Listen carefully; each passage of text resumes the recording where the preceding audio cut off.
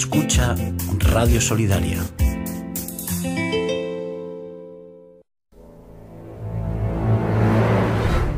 Todos los miércoles en 30 más 30 te ofrecemos el espacio El libro de la vida.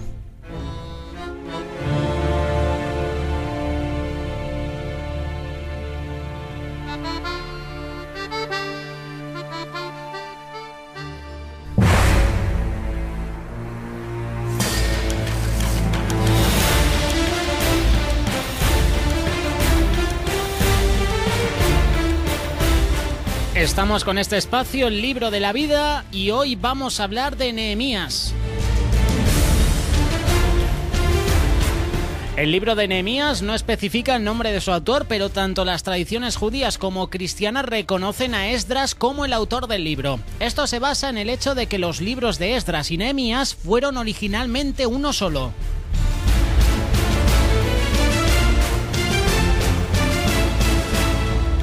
El libro de Nehemías es uno de los libros históricos de la Biblia y este continúa la historia del regreso de Israel de la cautividad en Babilonia y la reconstrucción del templo de Jerusalén. Vamos a mencionar algunos versículos clave. Por ejemplo, Nehemías capítulo 1 versículo 3. Y me dijeron, el remanente, los que quedaron de la cautividad allí en la provincia, están en gran mal y afrenta, y el muro de Jerusalén derribado y sus puertas quemadas a fuego.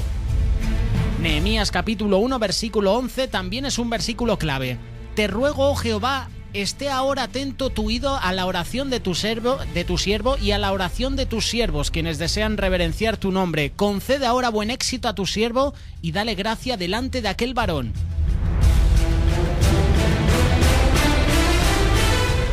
Nehemías era un hebreo en Persia cuando escuchó la noticia de que el templo en Jerusalén había sido reconstruido. Su preocupación creció sabiendo que no había muro que protegiera la ciudad. Nehemías pidió a Dios ser utilizado para salvar a la ciudad. Dios respondió a su oración hablando al corazón del rey persa Artajerjes, quien no solo le dio su bendición, sino también los suministros para utilizarlos en el proyecto. Nehemías obtuvo el permiso del rey al regresar a Jerusalén, donde fue hecho gobernador. Si te acabas de conectar al programa, si te acabas de conectar al espacio, estamos en el libro de la vida. Hoy hablamos de Nehemías.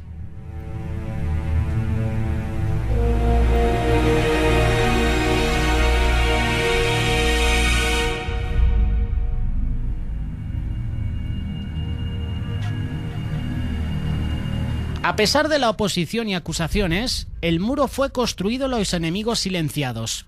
La gente inspirada por Nehemías ofrendó diezmos, ofrendó mucho dinero, también material.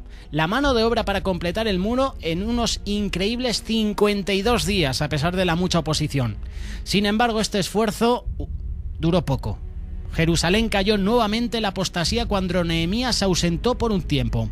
A su regreso después de 12 años, encontró los muros fuertes, pero la gente debilitada. Él se dio a la tarea de enseñar moralidad a la gente y no se anduvo con rodeos. Y reñí con ellos y los maldije, y herí algunos de ellos. Les arranqué los cabellos y les hice jurar diciendo, no daréis vuestros hijos a sus hijos y no tomaréis de sus hijos para vuestros hijos ni para vosotros mismos.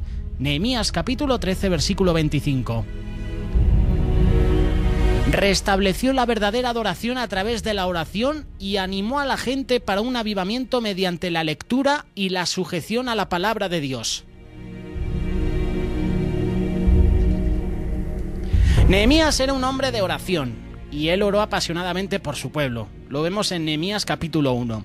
Su celosa intercesión por su pueblo ante Dios prefigura a nuestro gran intercesor Jesucristo, quien oró fervientemente por su pueblo en su oración como sumo sacerdote. Lo vemos reflejado en Juan capítulo 17. Tanto Nehemías como Jesús tenían un profundo amor por el pueblo de Dios, el cual derramaban en oración a Dios intercediendo por ellos ante el trono.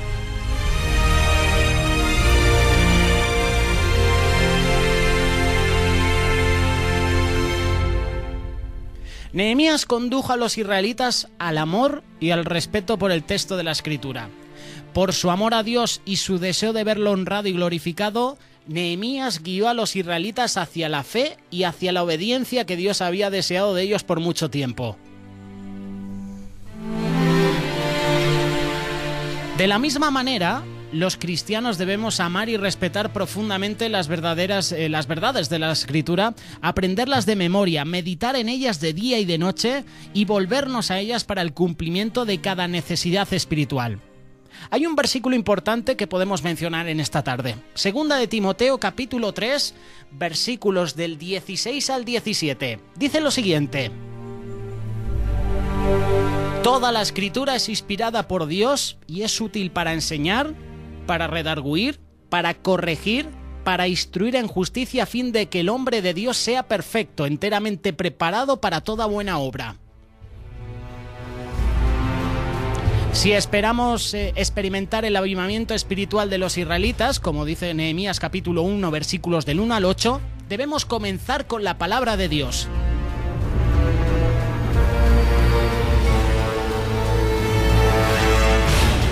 Cada uno de nosotros debe tener una compasión genuina por otros que sufren heridas físicas o espirituales. Sin embargo, sentir compasión y no hacer nada para ayudar no es bíblico. Esto no sirve de nada. A veces tendremos que renunciar a nuestra comodidad a fin de ministrar apropiadamente a otras personas. Debemos creer totalmente en una causa antes de darle nuestro tiempo y dinero con un corazón dispuesto. Cuando permitimos que Dios ministra a través de nosotros, aún los incrédulos sabrán que es obra de Dios.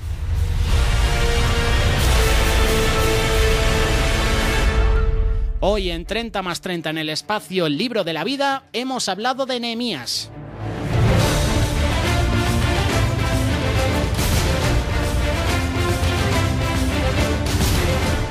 Semana que viene, si Dios lo permite, en el apartado La vida de, hablaremos de enemías.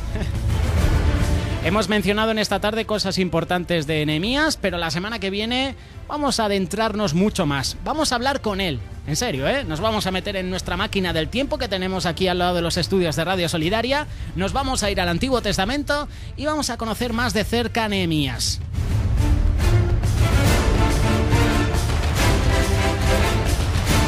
Si quieres hacer tu aporte, si quieres aportarnos algún libro, quieres que hablemos de alguno de ellos de la Biblia, nos puedes escribir un mensaje a facebook.com barra 30 más 30. También te puedes poner en contacto con nosotros a través del canal de YouTube 30 más 30 Radio.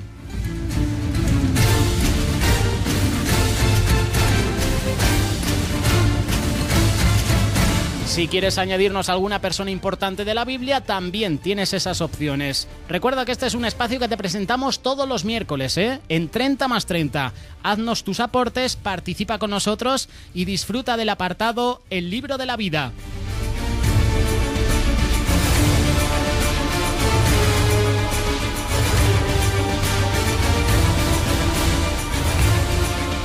Por cierto, ya para terminar, damos gracias a toda la audiencia que participa a través del canal de YouTube, dejándonos sus comentarios. Eh, participa mucha audiencia. El otro día nos escribían desde Colombia, desde Venezuela, eh, aportándonos personas importantes para la Biblia. Vamos a hablar próximamente de Sambalat y Tobías, ¿eh? Y eso será aquí, en 30 más 30. Encuentre este y otros podcasts de nuestra programación en radiosolidaria.com. broken heart.